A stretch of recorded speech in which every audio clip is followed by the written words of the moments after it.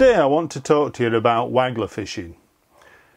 Now, th through my early years of fishing, I spent a lot of time on the River Trent fishing with waggler, catching roach, chub, some hybrids. It was fantastic fishing. And I learnt a lot about how to rig up for a, a waggler type session on the river. Preparation is everything. You have to prepare very well and often you're rigging up as many as three or four rods for different ways of fishing with a waggler and a lot of that work is done at home. Now waggler wise I always use Drennan Crystal wagglers and there's a reason for this. With Drennan Crystal, Crystal wagglers they're very easy to use and also there's a lot of variations to them. You can swap the tops on the wagglers, you can pull out the actual top from the waggler and replace the top with a shorter type top. You can also replace the weights at the bottom of the floats. You can take out the weight from the base of the float and add smaller weights.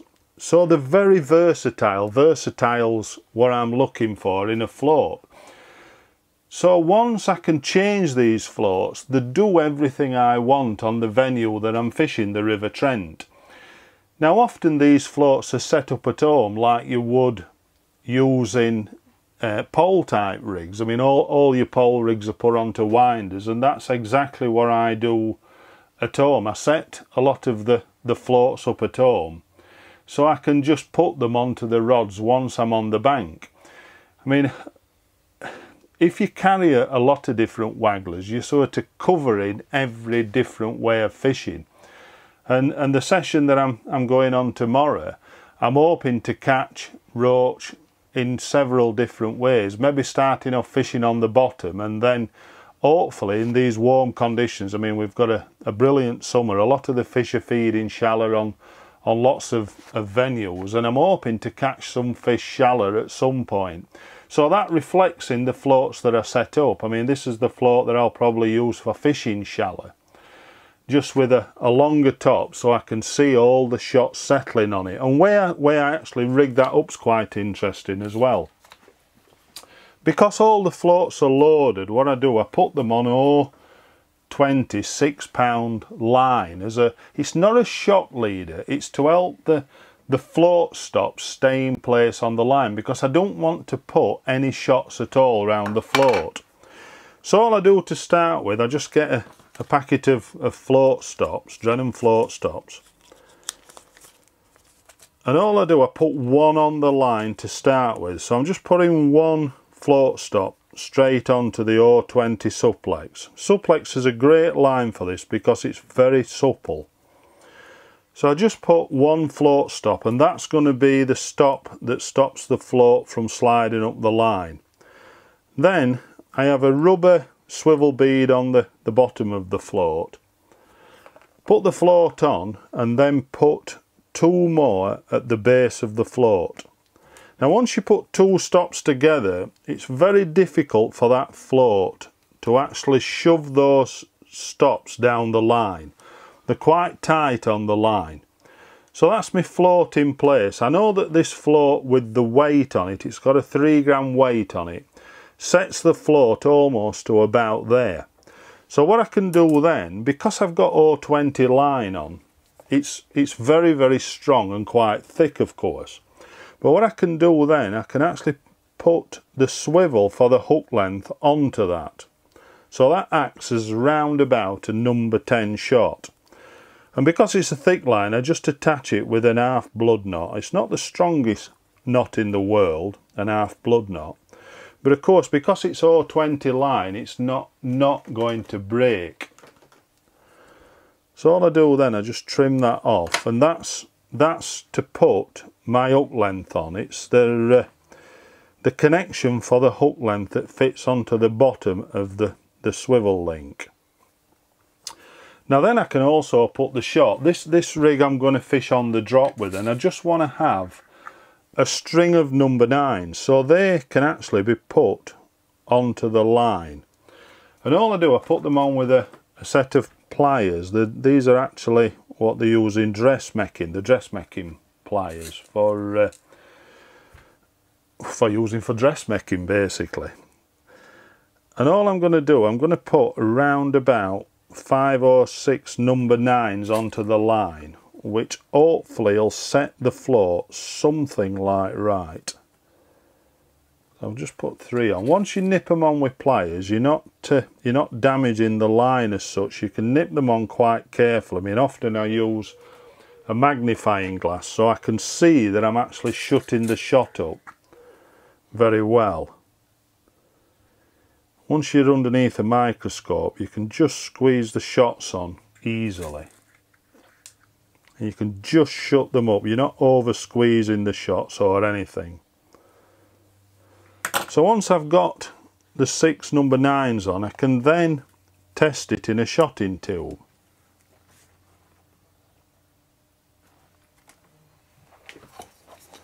So once I go into the shotting tube, then hopefully the float will set about right. Now I could maybe get one more number 9 on that, but with the hook length, the weight of the line, I would have thought that'll drop it down a little bit more. I can always adjust it on the bank.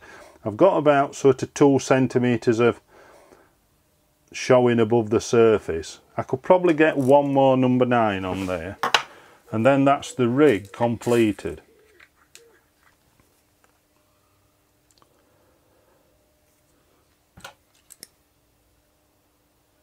Now you can actually put these rigs straight onto your rods and just put them in a, a sleeve, but any any floats that you want to, to make up as spares, I mean I've already done my rods, what you can see in the background, this is just a spare rig.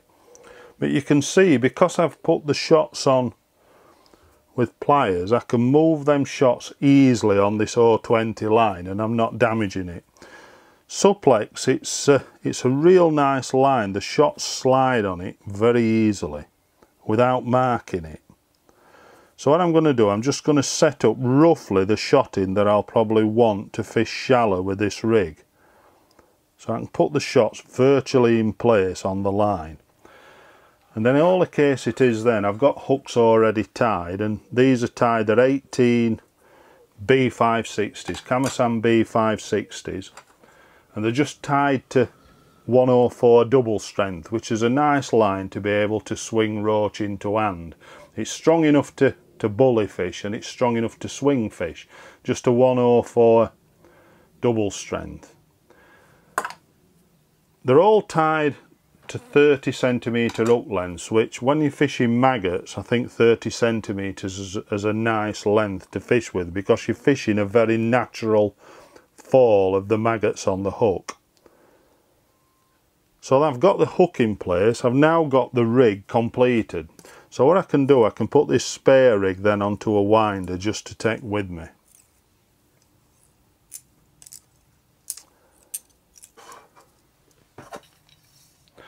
The length of line I leave above, I mean it all depends on the depth that you're fishing at. I mean where I'm going to fish today should be around about sort of 9 foot, maybe 10 foot at the deepest.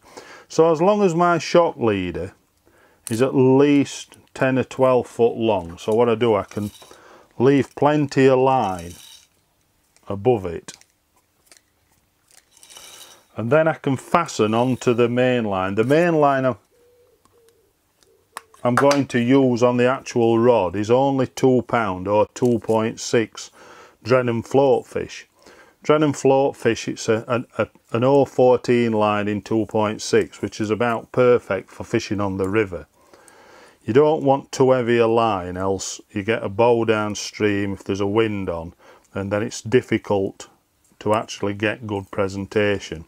So that's a spare rig what I've done for today. The rods that I'm going to use, when I say today, tomorrow should I say, the, the rods that I'm going to use I've already made up. I've got three rods with different size floats on, ranging from a, a rod with a 4 gram crystal for fishing on the bottom with quite heavy shotting, up to a 2.5 gram shallow float where I'll use if I'm going to catch shallow.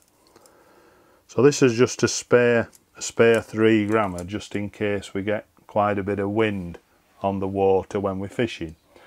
So rigs like that I can just store in a box, take with me to the bank. The three rods I've already got made up, ready for the session tomorrow. So let's get to the bank and go waggler fishing.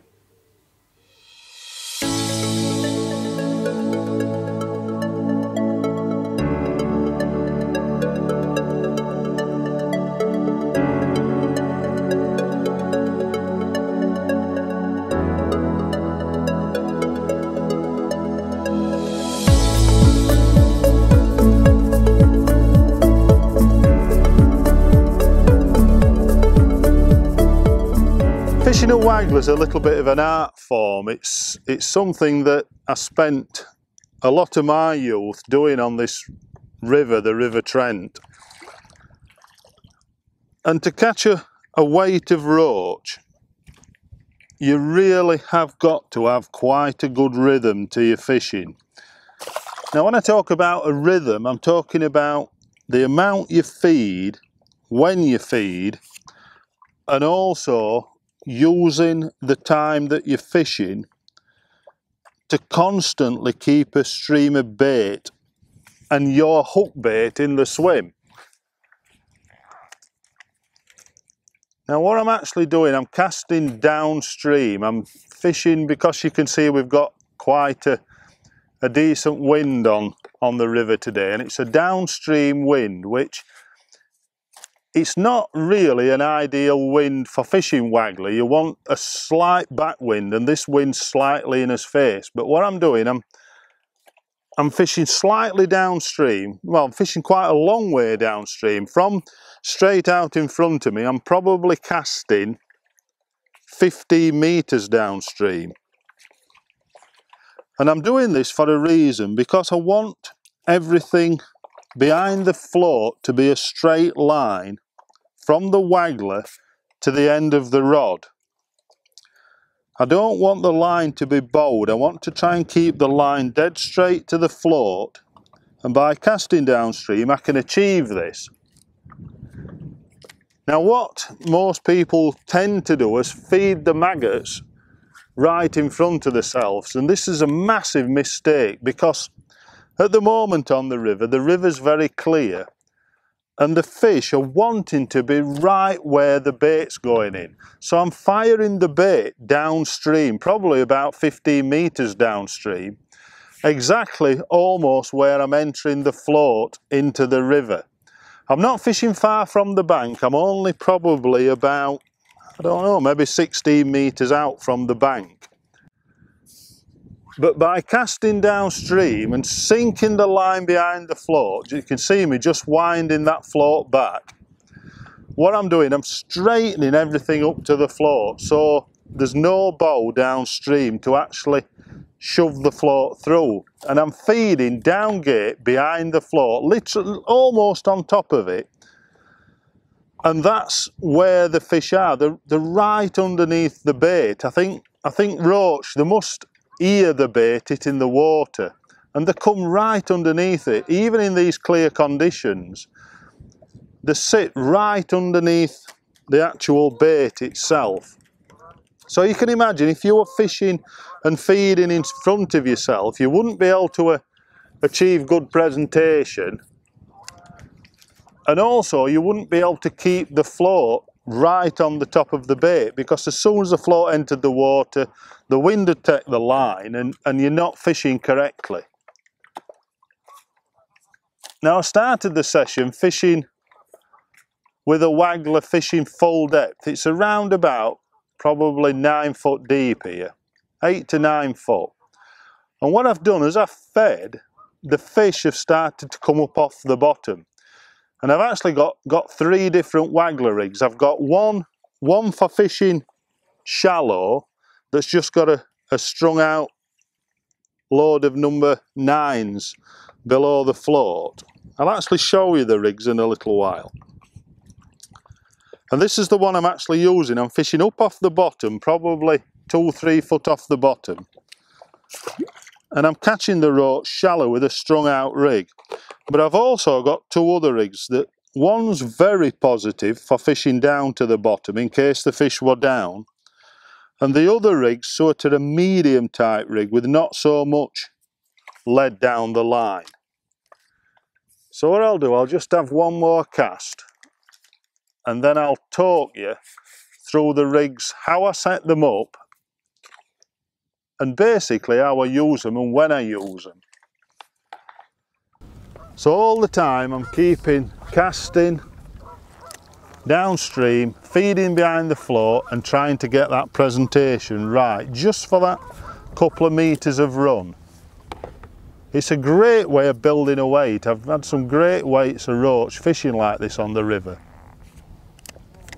You can sometimes, if you're just slightly past the bait, strike to fish and also let the float run again if you're not too, fat, too close to the bank. And that's what I've just done there. And often you catch a bigger stamp of fish close in. That's not too big a fish, that's just a small, that's a chub actually. I've had two or three small chub. So I'll put this rig down, you can see how shallow it is and I'll talk you through the rigs that I'm using for this session.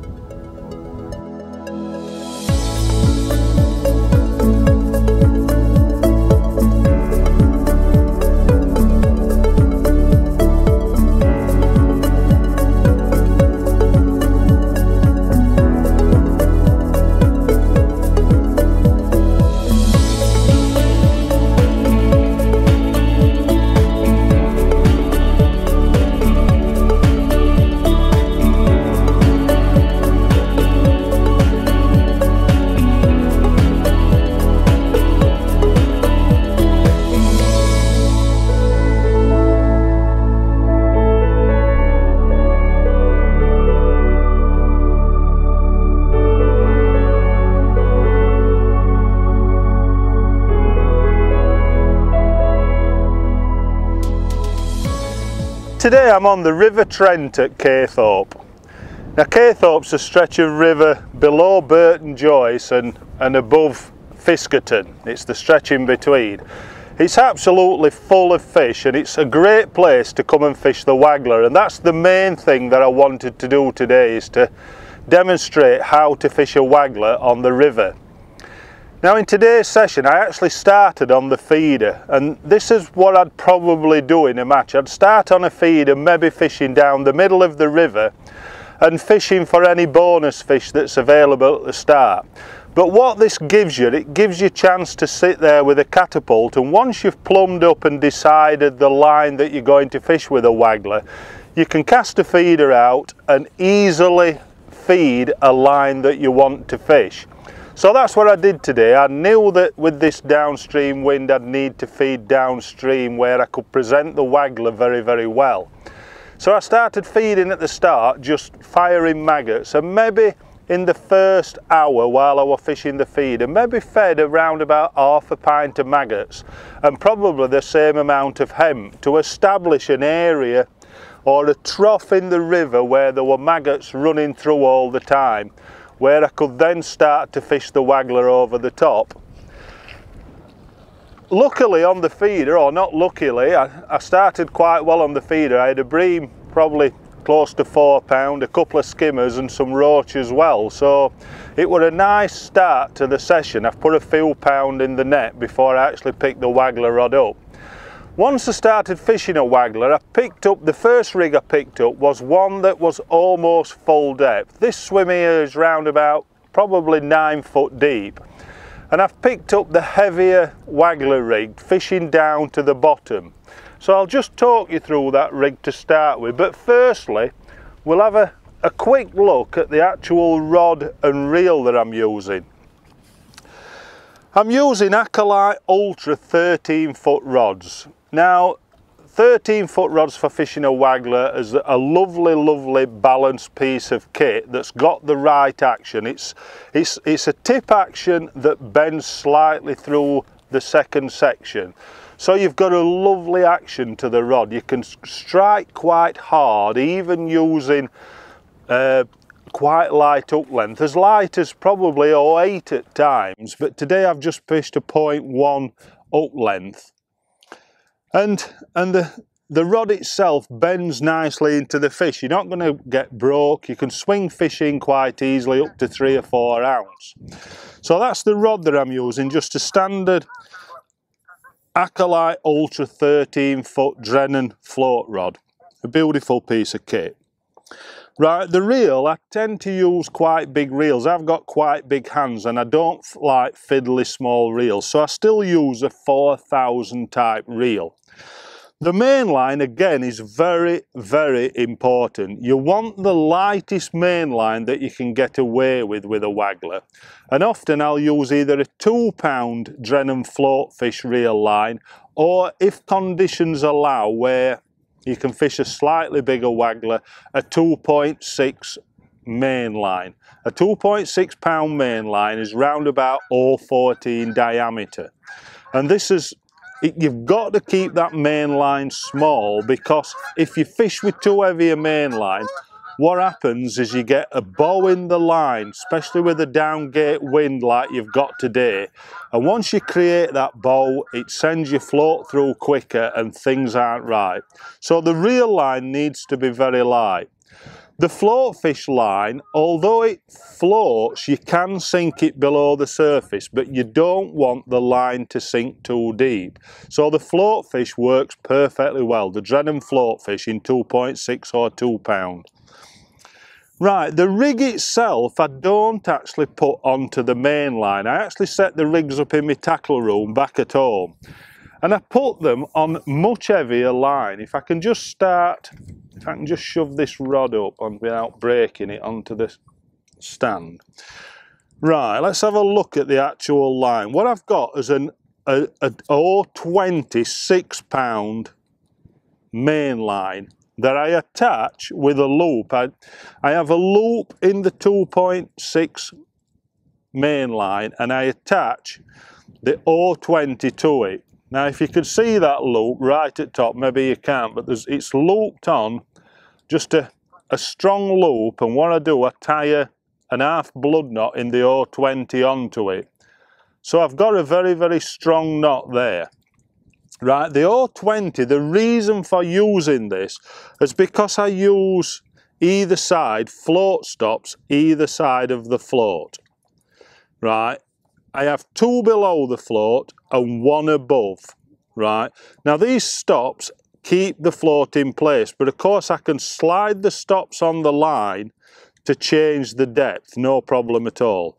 The tool below acts as a buffer so that the float never moves on the line. The float itself is fully loaded for this this rig's a fully loaded 4 gram Drennan crystal that's onto a rubber swivel link, a Drennan rubber swivel link. Right, so it's a four gram crystal with just a normal insert to the actual crystal float. Now this is my positive rig. If I can just get hold of the, the rod again. This is a positive rig and what I've got, I've got a block here of number eights. I think there's eight number eights. There's nine number eights in a block right and this is because this rig I want it to get down to where the maggots are hitting the bottom very quickly I've then got two number eights two number eights one number eight and then a Drennan swivel link to actually put the hook length onto now these you can detach the hook length very quickly and put a new hook length on if you need to do these these type of links the hook length itself is Drennan double strength in 104. So it's a 104 a 0.1 uh, hook length and that's a 30 centimetre hook length. Now these are tie on to, to, to, sticks that goes in, in the box itself. So they're, they're all set at 30 centimetres each hook length. The hook itself is a, an 18 B590. Now these are a, a, a, strong hook but quite fine. A B590 is perfect for double maggot.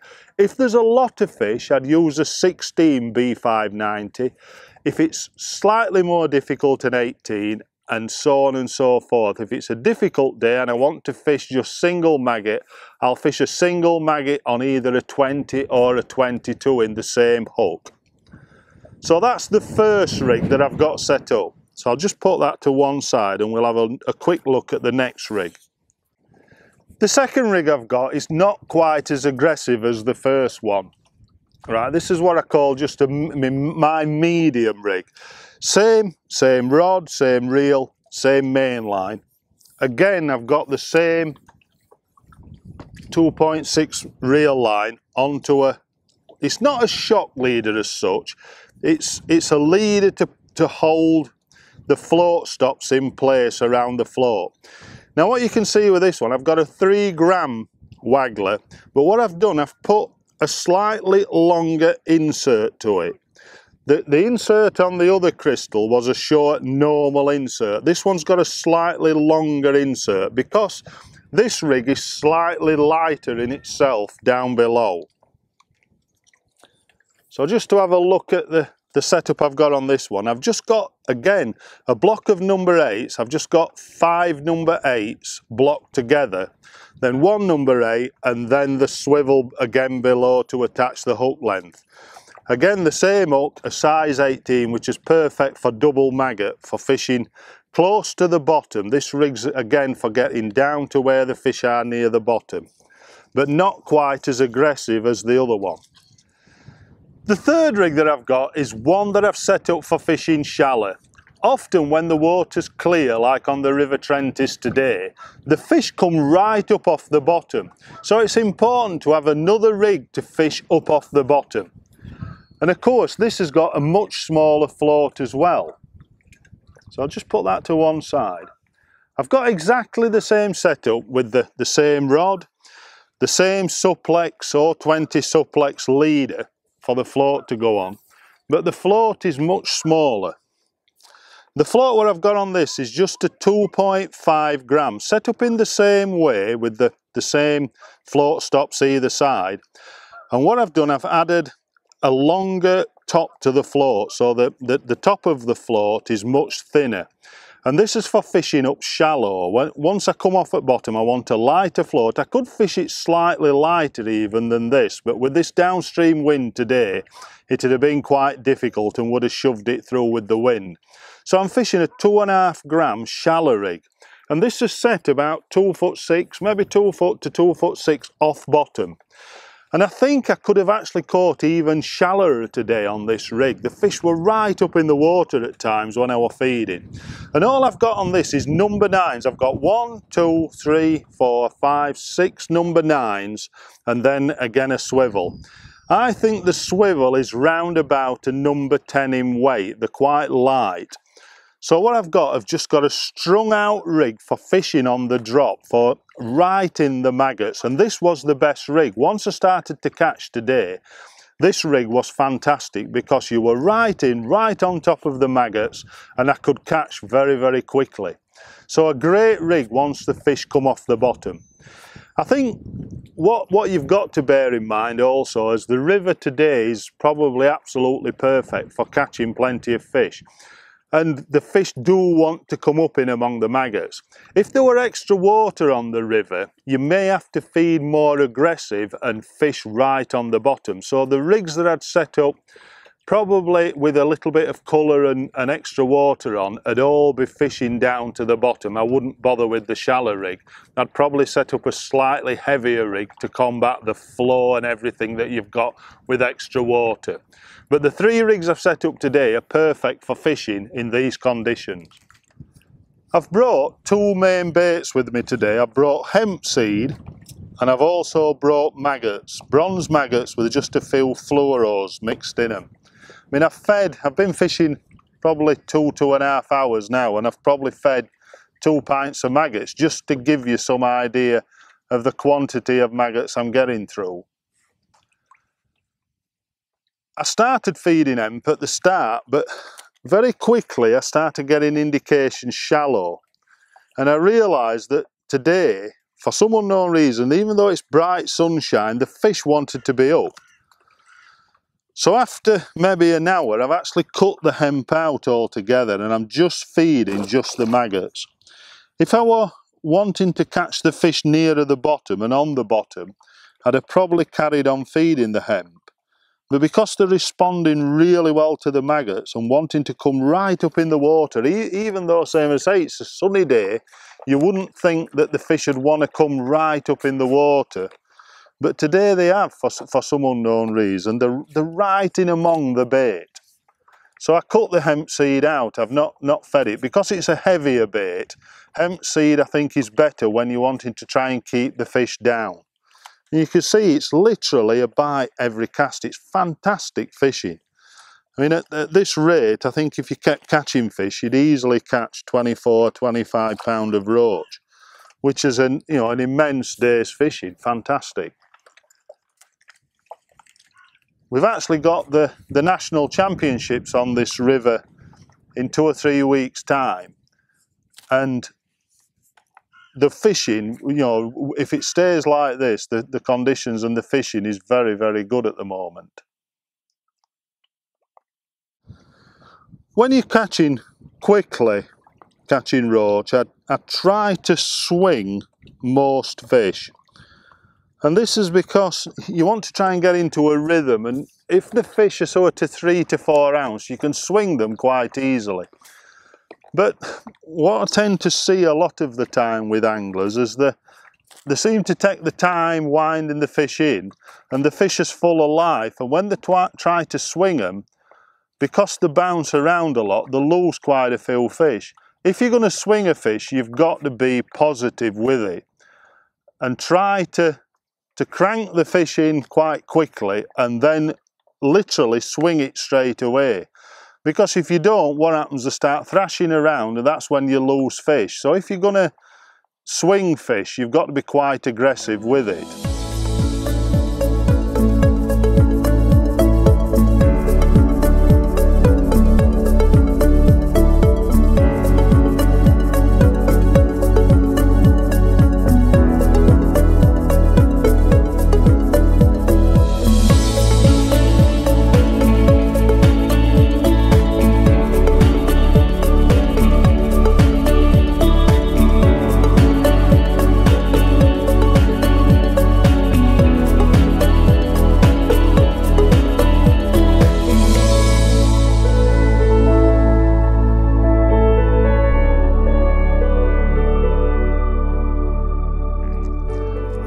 I'm only fishing quite short, and I've said round about 16, maybe 18 metres at the very most, I'm still using quite a strong catapult. I'm using a, a medium elastic on a Drennan catapult because I, I don't like the smaller catapults, the deli type cats. I'd rather use a more positive pouch. If the wind gets up, it's easier to fire the bait the pouch is quite big. If I want to put a lot of maggots, the size of the pouch is a good size. So the catapult for me is, is, is probably very important. I mean, it, when I used to fish the river originally, we used to use bait aprons all the time and quite big catapults. But of course now, a lot of the time we have stands. I mean, I've got a, a platform in today. I've actually sat out in the the river with a platform where years ago we used to stand up nearly all the time fishing. But once you get nice and comfortable, your bait's right to hand on a bait waiter. I've got a Drennan bait waiter. You can't knock over your bait. Your bait's right to hand all the time. The catapult also I can pick up very easily to feed the maggots. So it's all just making life a lot easier for yourself, having a, the right setup to fish the waggler. And I'm sat here nice and comfortable, I can concentrate on my fishing. Hook baits when you're fishing with maggots can vary. I tend to try to fish double maggot. When there's, there's roach about, double maggot's a great hook bait because it's slightly more selective for catching a, a little bit bigger stamp of fish. There's also a few dace and bleak around today and they're put off with the double maggot. So double maggot, I'm fishing a, an 18 B560 hook, which is a, a terrific hook for catching a lot of fish when you're wanting to swing them. And the hook bait is just, just double maggot. And I hook them, I don't hook them top and tail as they call it. I always hook them from behind for the from the blunt end. So both maggots is hooked through the blunt end of the maggot. If you do get problems with the maggots doubling over, sometimes when the fish are feeding not quite as well, you get odd times that a double maggot can double over the hook and that can become quite frustrating and that's when top and tail in a maggot, putting a maggot through the nose or through the blunt side can make a difference. But today I've not had any trouble. I think the fish are feeding very well and they're taking the bait nicely even though it's hooked two through the blunt end. Of course when it's more difficult, I mean I fished on the river yesterday and yesterday a size 18 hook. I caught on for a while, but after a while I had to drop down and, in size of hook and just finished up fishing single maggot on a 22 B560. A Kamasan B560 hook in a size 20 is quite a small hook and that that was the best hook yesterday when the, the fishing was more difficult and just fishing a single fluoro maggot was the best hook bait. But this today really has been one of those days. It's a red letter day when there's loads of fish present and that's when the fish want to come up in the water. When the fish are competing, they'll come shallow, even in this clear, clear water what we've got today. And it really has been terrific fishing. I think the last hour I've had a, a, bite virtually every single run down. All right, because you're fishing up, you bump an odd fish, you lose an odd fish and you miss bites. But it really has been terrific fishing.